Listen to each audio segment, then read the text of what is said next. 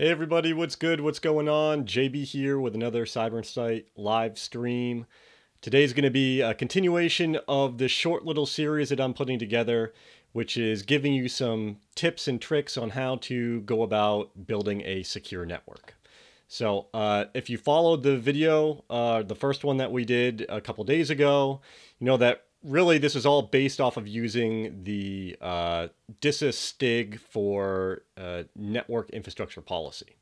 So uh, if you aren't familiar with any of that is, please go check out that first video. I give you a whole bunch of links on how to use the DISA STIG viewer tool and to get this particular STIG that we're using kind of as our baseline for the advice that I'm giving you.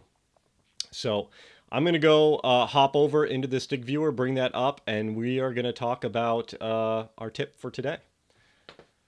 So let me go over and bring that up real quick. So um, in the first video, we talked about needing to have the right diagrams and documentation for our environments. Today's uh, tip is going to be a combination of three different things here, uh, or three different findings or controls uh, within this particular uh, STIG checklist, and that is dealing with identifying and controlling external network connections for your environment.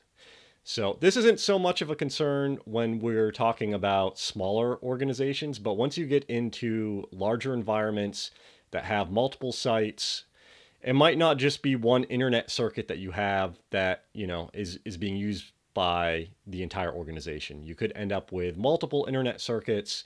You could end up with certain geographic locations that, for whatever reason, went ahead and bought their own internet circuits. So you kind of lose a little bit of visibility as far as what it is that actually is, uh, you know, the IP space and the domain space that your organization is responsible for. Same thing in regards to if you're using any type of cloud services that your environment has to go through. So uh, really, the thing is you want to make sure that you are aware of um, what exists and what your environment is connected to, uh, both from an internet perspective and a cloud perspective. So if we look at the first control here, now remember all of this stuff is written from the perspective of the Department of Defense and government. We aren't really messing with any of that. I'm just kind of using this and overlaying it in a way that makes sense uh, from a business perspective.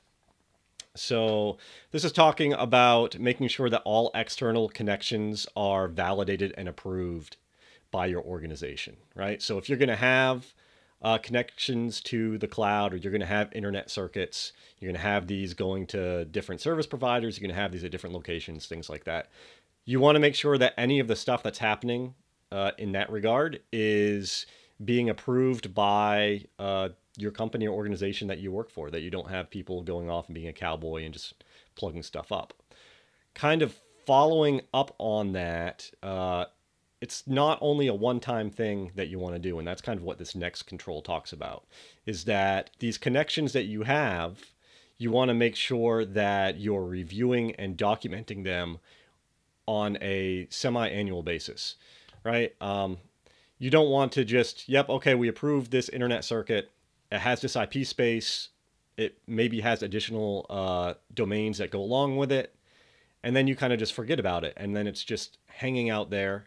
You want to be doing kind of uh, continuous checks on these things periodically to make sure that they're still applicable, still being used by your environment. And more importantly, you have the correct configurations and protection mechanisms in place to be able to monitor and manage them. And lastly, this other control kind of um, goes along the same uh, same type of vein as what this was as far as uh, internet circuits and stuff like that. Again, this is completely from a DoD perspective. Um, and it's pretty much again just uh, making sure that anytime that you have any of those types of connections, your uh, organization leadership is signing off on them. So uh, yeah, that's uh, tip number two.